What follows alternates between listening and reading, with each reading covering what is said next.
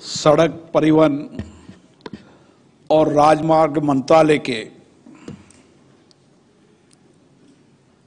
उत्कृष्ट पुरस्कार समारोह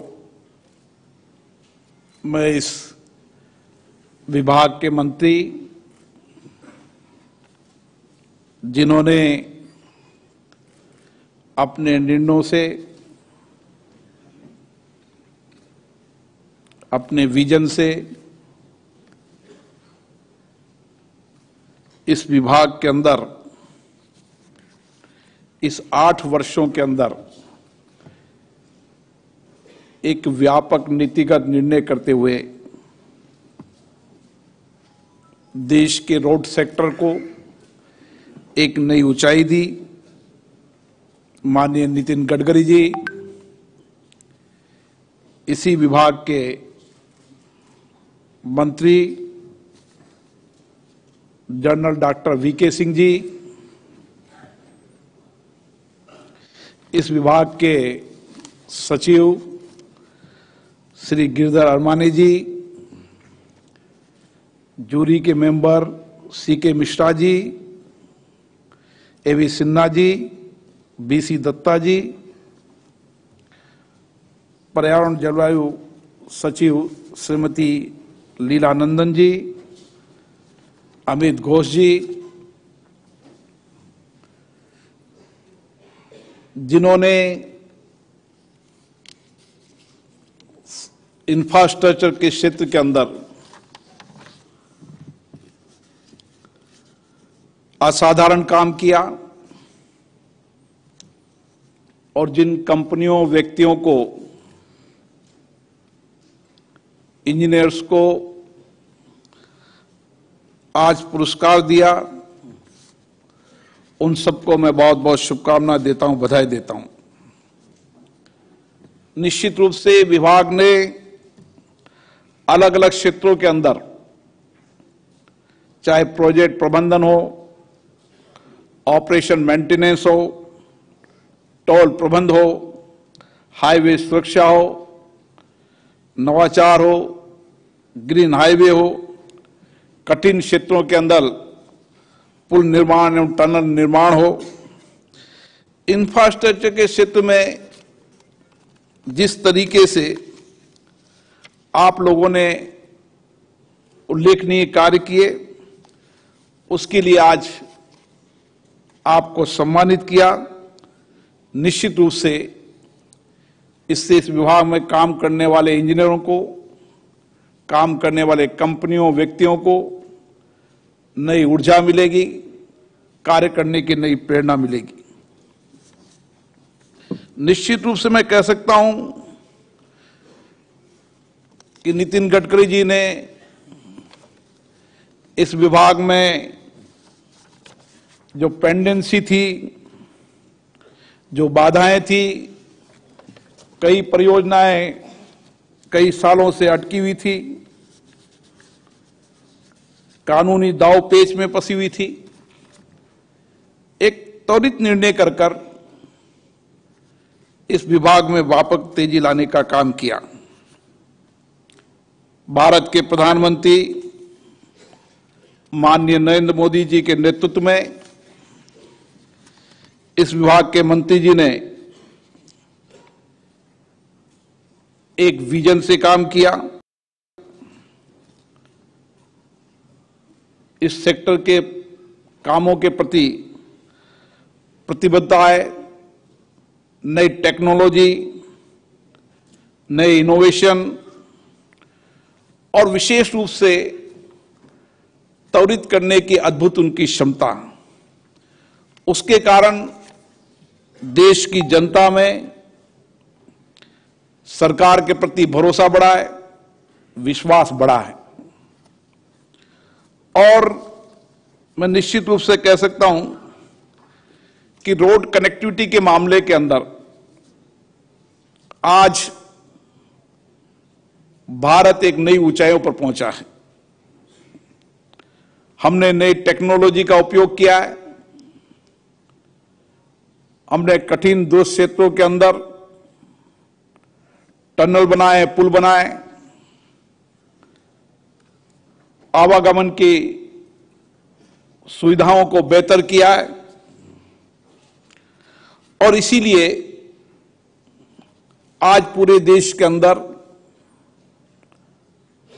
इस विभाग की, जो विभाग किसी समय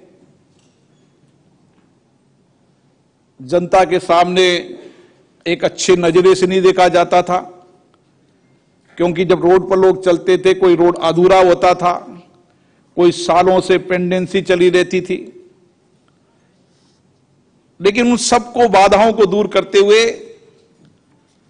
आपने इस विभाग की गति लाई। मैं देखता हूँ कि माननीय गडकरी जी को सदन में भी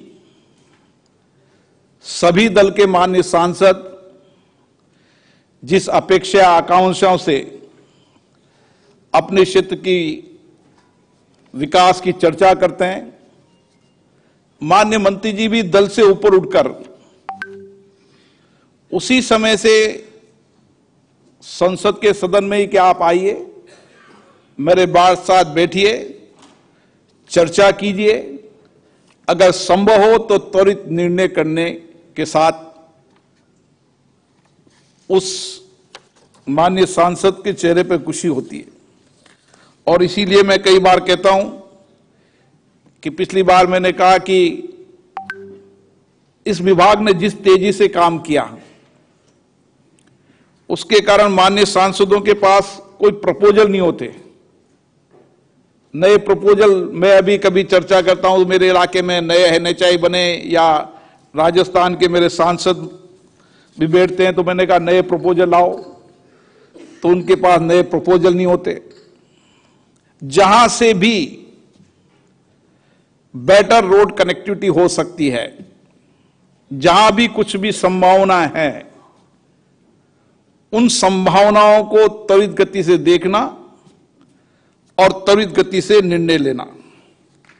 और इसीलिए आज देश के अंदर माननीय प्रधानमंत्री जी के नेतृत्व में इंफ्रास्ट्रक्चर के क्षेत्र के अंदर जिस तरीके से भारत ने नई गति दी है, आने वाले समय के अंदर हम ये कह सकते हैं कि दुनिया के अंदर इंफ्रास्ट्रक्चर के क्षेत्र के अंदर भारत एक कीर्तिमान हासिल करेगा और निश्चित रूप से उसी दिशा के अंदर कि जितने भी इंफ्रास्ट्रक्चर के सेक्टर हैं, उन सेक्टर को एक प्लेटफॉर्म पर लाया जाए और इसलिए पीएम गति शक्ति मास्टर प्लान योजना बनाई गई, जिससे कि हम जितने भी सेक्टर हैं, चाहे रोड हो, चाहे एयर हो, चाहे जल हो, चाहे फाइबर केबल हो, और कनेक्टिविटी हो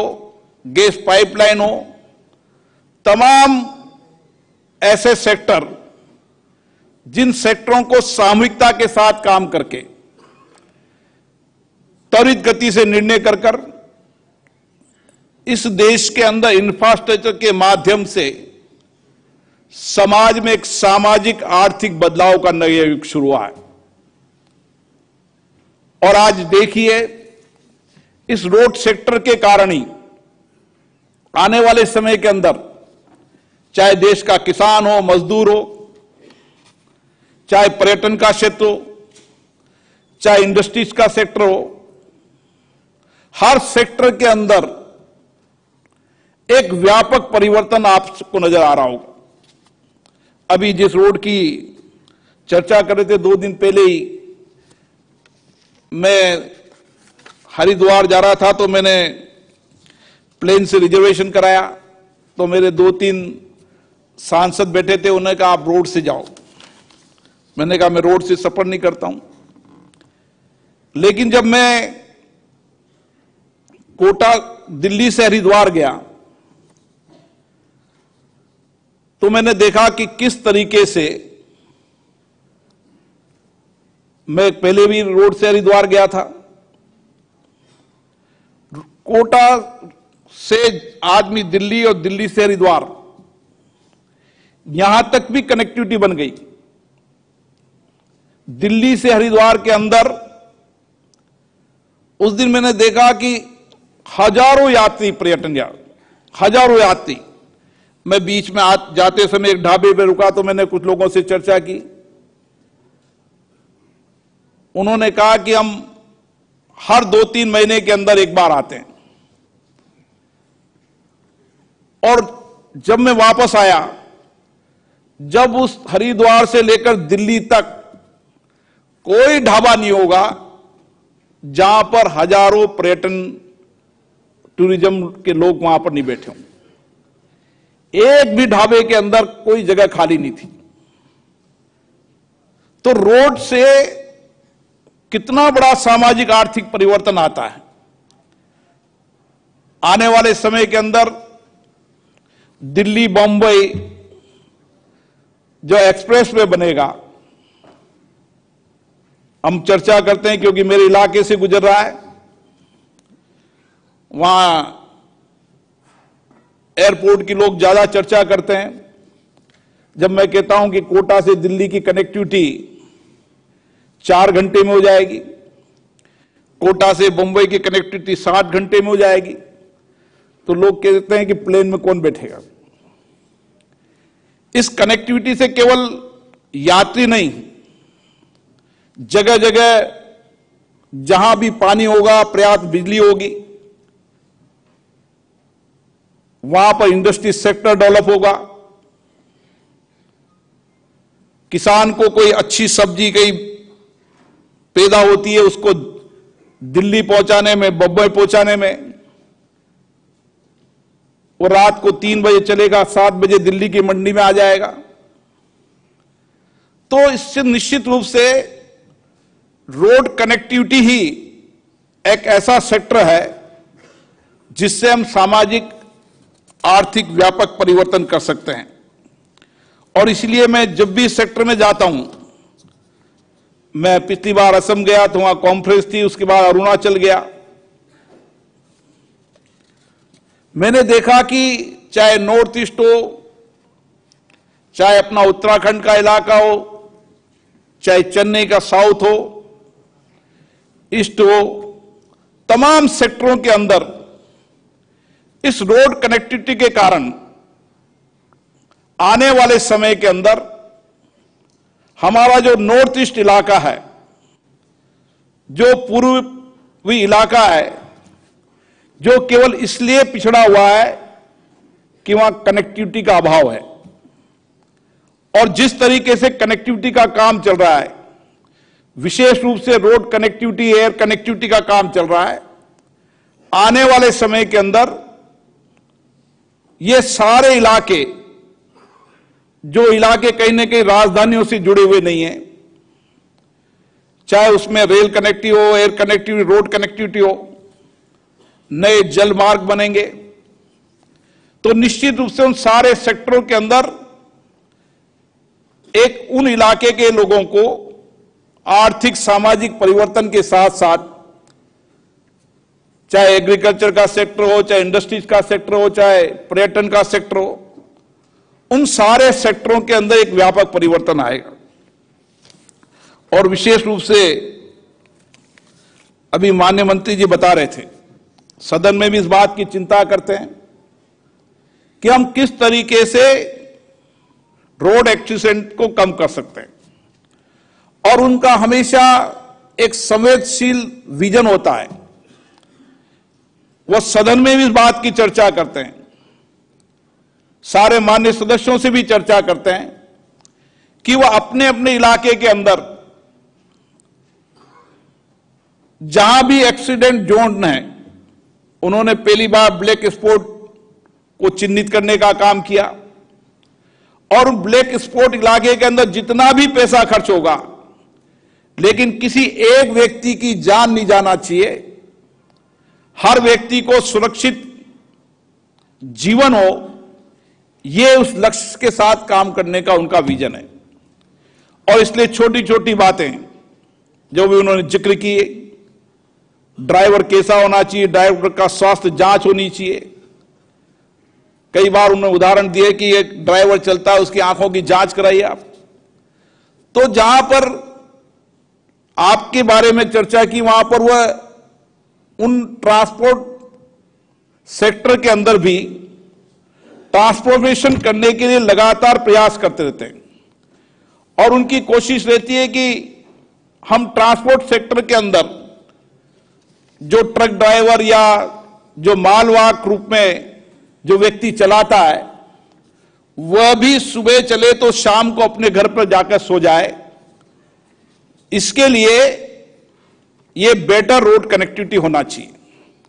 और मुझे आशा है, आपने इस दिशा की ओर गंभीरता से काम किया है कि सड़क सुरक्षित होना चाहिए। पर्यावरण की दृष्टि से आपका विजन निश्चित रूप से पर्यावरण केवल पेड़ लगाने के नहीं, पर्यावरण के साथ साथ ट्रांसपोर्ट व्हीकल्स के अंदर क्या क्या परिवर्तन हो सकते हैं, उन सारे विजन को आपने समय समय पर देश के सामने रखा है।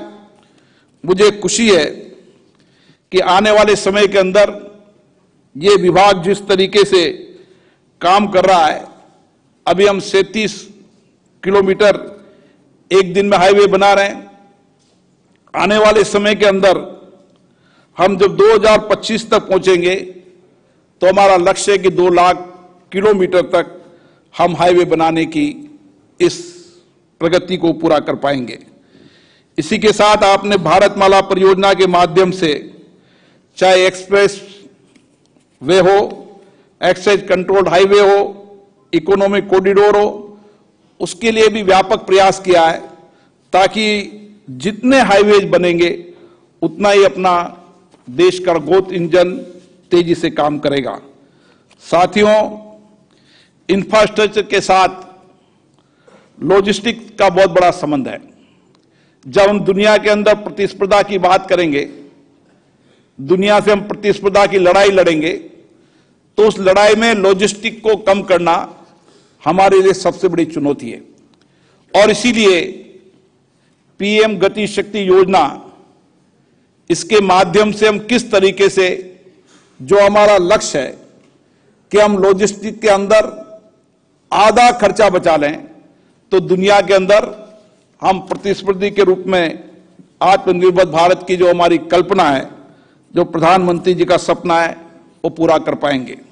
निश्चित रूप से इस सेक्टर के अंदर, चाहे टोल के अंदर आपने नए इनोवेशन किए कोई जमाना था जो टोल में लंबी लाइनें लगती थी। आपने किस तरीके से टोल के अंदर नया परिवर्तन लाया? आप जीपीएस सिस्टम ला रहे हैं। आप नया सोचते रहते हैं, नया विचार करते नए इनोवेशन करते थे। और ये इनोवेशन धरातल पर उतारते हैं। जो सोचते हैं, जो विचार करते हैं, उसकी चर्चा करते हैं, उसको धरातल पर उतारते हैं और उसके परिणाम आज देश देख रहा है। साथियों, आने वाले समय के अंदर, इस रोड कनेक्टिविटी के मामले के अंदर, मैं कह सकता हूँ कि नए कीर्तिमान हासिल हमने किए हैं, भविष्य में नए कीर्तिमान हासिल करेंगे। और देश के अंदर, रोड कनेक्टिविटी के अंदर दुनिया के अंदर भारत सबसे अग्रिम देश होगा, जहाँ हम बेटर रोड कनेक्टिविटी देंगे, वहाँ सड़क पर यात्रा करने वाले सुरक्षित रहें, हम हमारी लॉजिस्टिक को कम कर पाए, हम इंडस्ट्री सेक्टर को डेवलप कर पाए एग्रीकल्चर सेक्टर की ग्रोथ बढ़ा सकें, और एक सामाजिक आर्थिक परिवर्तन करने का नया युग शुरू कर सकें। मुझे आशा है कि आप सबके सामूहिक प्रयासों से, चाहे इसमें कॉन्ट्रैक्टर हो, चाहे इंजीनियर हो, चाहे नए इनोवेशन करने वाले वैज्ञानिक हो, आप सबने इस सेक्टर में नए इनोवेशन किए हैं। विभाग की सोच को धरातल पर लाने का काम किया है। मुझे आशा है, आज जिन लोगों को पुरस्कार मिला है, उनको तो बधाई, लेकिन और लोग बेहतर काम कर कर इस पुरस्कार को प्राप्त करेंगे, ताकि हर व्यक्ति को काम करने की नई प्रेरणा मिले, नई ऊर्जा मिले, और इस देश के अंदर हम समर्पित और राष्ट्र सेवा के माध्यम से जब आज़ादी के 75 वर्ष के अमृत महोत्सव में गुजर रहे हैं तो हमारा लक्ष्य होना चाहिए, जब हम हमारी शताब्दी हो तो दुनिया के अंदर भारत आर्थिक, सामाजिक परिवर्तन करने का नया भारत बने और इसमें आप सबका सहयोग रहे। आप सभी को बहुत बहुत धन्यवाद।